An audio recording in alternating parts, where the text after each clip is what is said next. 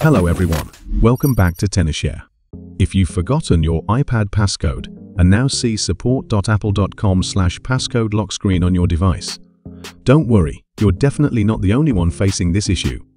In today's video, we'll show you three effective ways to unlock an iPad running iPadOS 26.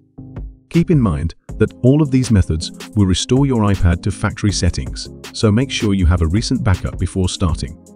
Let's dive in. Method 1. Apple's official method. Forgot passcode on iPadOS 26. Before you begin, make sure your iPad meets the basic requirements for Apple's official reset method. Your iPad must be running iPadOS 17 or later, including iPadOS 26. It must be connected to the internet. You need to know your Apple ID and password. Now, on iPadOS 26, if you enter the wrong passcode too many times, you'll see iPad unavailable on the screen. Look for the Forgot Passcode option at the bottom. Tap it, then sign out using your Apple ID password. Once confirmed, your iPad will start erasing itself. This removes the passcode and resets your device completely. The process usually takes about 10 minutes, and once it's done, you'll see the Hello screen. From there, follow the on-screen setup and restore your data from iCloud or a backup if you have one. Method 2. Unlock iPad using Tenorshare 4uKey. No Apple ID needed.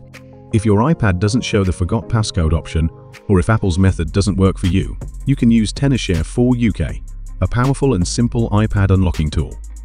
You can find the download link in the description. Here's how to use it. Install Tenorshare 4uKey on your computer. Connect your iPad using a USB cable. Launch 4uKey and choose Unlock iOS screen, then click Start. Follow the on-screen instructions to put your iPad into recovery mode.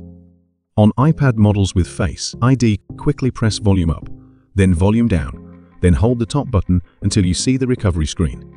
4uKey will detect your device and prompt you to download the latest iPadOS 26 firmware. Click Download, and once it's ready, click Start to remove.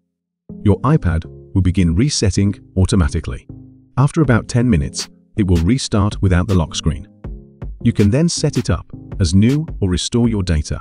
This method is quick, beginner-friendly, and doesn't require any technical skills.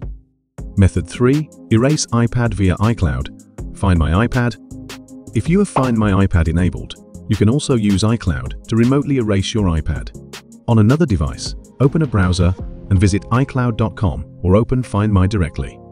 Sign in with your Apple ID. In the list of devices, select the iPad whose passcode you forgot, then click Erase this device. After confirming this, by entering your Apple ID password, your device will be factory reset and the lock screen will be removed.